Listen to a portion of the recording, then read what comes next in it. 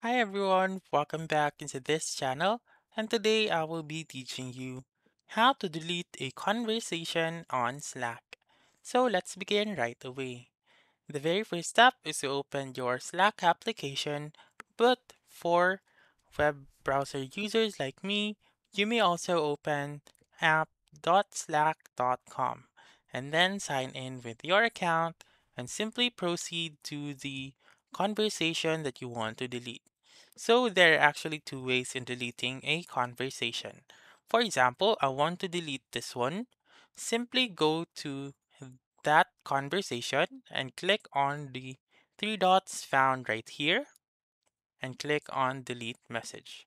Click on it, click on delete once again, and it has now been deleted. For the second option, you may delete the whole conversation by clicking on the X button found on the rightmost part of that conversation. Click on the X button, and then that's it. That's how you can delete a conversation on Slack. So that's all for this video. Let me know in the comments section if this works out for you. For more helpful tutorials like this, please subscribe to our channel and don't forget to click that notification bell. Thank you for watching and have a wonderful day.